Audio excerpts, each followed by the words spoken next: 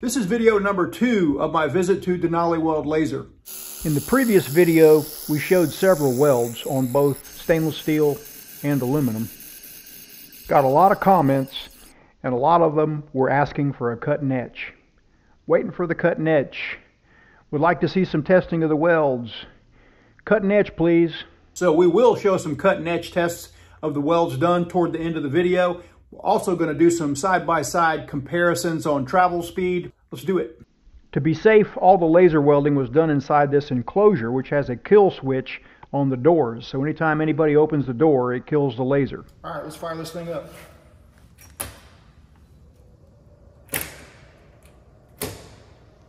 So you can see the double key turn switch is here. This thing can't get turned on by accident.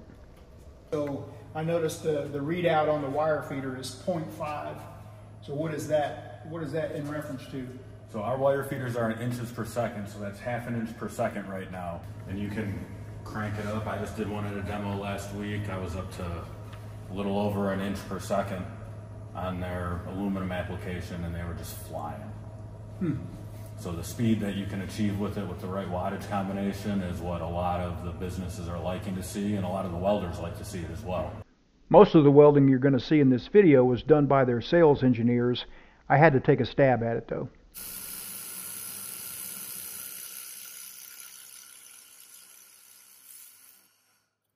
There's, a, there's, there's a, definitely a feel to it. It's, it's, it's, it's a whole lot of feel.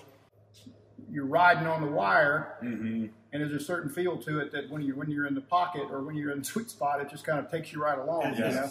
This is a lap joint on some 80,000 stainless. These are just four inch long pieces, but it only took nine seconds to make that weld.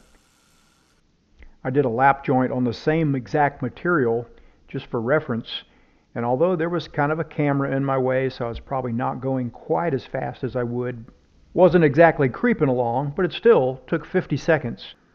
And I think that's probably a fairly normal travel speed for a stainless lap joint in 80 thousandths.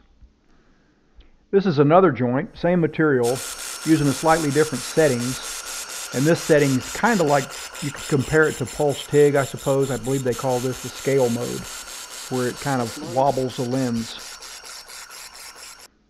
Hey, the cut and etch tests are coming. They'll be toward the end of the video. We got a couple of more welds to make first. Now we're going to do some aluminum with the 3000 unit. Nothing special here, just a sheared edge. I'm not going to do any prep on this at all. 5000 series, quarter inch thick.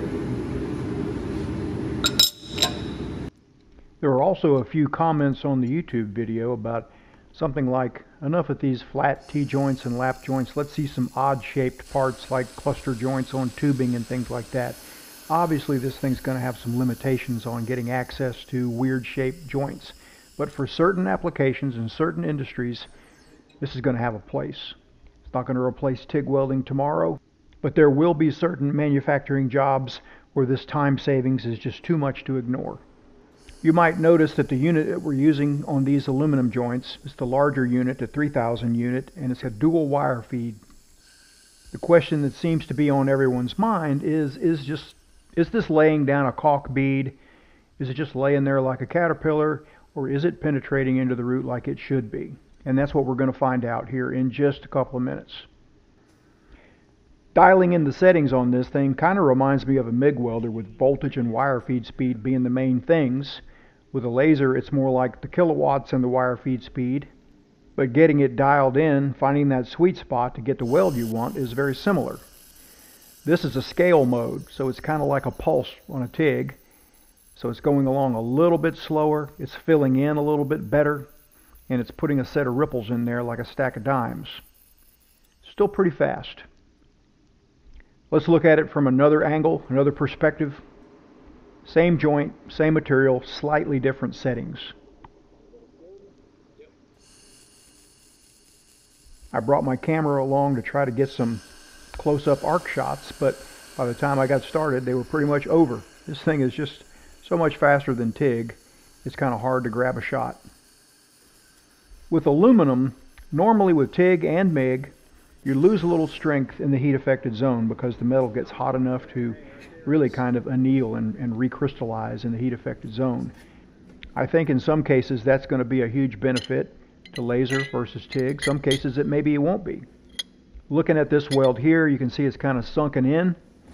I would sure think that got penetration into the root, but the only way to know for sure is to test it. All right, now let's compare a TIG welded quarter inch lap joint. Now, granted, this one's gonna be slightly slower because I've got a camera kind of in my way. Not much slower, but just a little bit. So anyway, let's look at the TIG weld and we'll look at the laser weld and then right toward the end of the video, cut and etch side by side. Should be interesting. Let me give you the setup here. I'm set at 200 Hertz. I'm up right around 200 amps using a foot pedal, so that's going to vary. Probably slightly lower at times, slightly more at times. I'm trying to keep a pretty tight arc. I'm using a 1 8 2% lanthanated tungsten that is tapered to a tip much like I would weld thick steel. I'm using 332nd diameter 5356 filler metal because I'm trying not to take the weld all the way up to the corner. I'm trying to keep it small, have it as be much like that laser weld as I can, but this is about as small as I can make it and still feel like I'm kind of punching into the root. Therefore, I'm having to go along just a little bit slower maybe than I than I normally would, but I'm I'm going along at a fairly normal travel speed here. I'm not going I'm not creeping along, I don't think. Now, if this was production parts and I didn't have to worry about that edge and I could just pack rod in there, I could go a little bit faster. But this took 59 seconds for a 6 inch long lap joint. So that's almost exactly 6 inches a minute of travel speed. Let's compare that now to one of these welds that we did with the laser. This is not the scale mode. This is one of the other continuous modes, but 11 seconds from start to finish. That is quite a difference. Now, let's take a look at some cut and etch tests. We'll start off with the 80 thousandths, 2 millimeter thick stainless steel. Here is that weld again going in. I'm going to give you a little refresher on what that looked like so you can compare it to the cut and etch test here coming up in a couple of seconds. I sectioned it with a porta band on a stand, gave it a quick polish, put some acid etch on there, and let's take a look at the weld nugget. Very small little weld, fairly comparable to what you would see with a TIG weld. Let's test an aluminum joint now. Again, this is quarter inch thick, 5005 aluminum. They're using 5356 wire. Moving right along, this thing is almost done before you get started. I'm going to cut it on the bandsaw as well. I'll give it a quick polish to remove the sawtooth marks do two or three steps down, finer and finer Scotch-Brite pads, and now I'm etching with Easy Off oven cleaner. That's a really small weld, but man, look at that penetration. That is a nice weld nugget. We'll take a look at another weld here with slightly different settings using the scale mode. And that should be less penetration because it's kind of like pulse TIG. But we're going to take a look at it, see what it looks like. That got in there as well. It almost looks just like the other one. The last test I'm going to do here, got a laser weld on one lap joint and a TIG weld on the other. You saw me make that earlier. Same drill here. Make the cut with a portaband, polish it down with gradually finer discs of Scotch-Brite. You don't have to have a mirror finish, but you do need to get the rough scratches out. And I'm etching with Easy Off oven cleaner. But let's get that arc shot and puddle fresh in our mind here before we look at the cut and etch results. Let's take a look at that puddle here. Do you think that's getting in there like it should be? Or is it possibly just laying in there with not much fusion? How about this? Does it look like it's getting in there? Or is it just laying a caulk bead on there? This is why we test things. This is why I like to test things because all the opinions in the world don't matter compared to testing. The results here are not that surprising to me. That laser weld is a almost picture perfect weld nugget punched in there like crazy. The TIG weld, it's in there barely with a really shallow throat because I was trying not to fill up the throat because I didn't want to go all the way up to the, the corner and chew off the corner. But look at side by side here.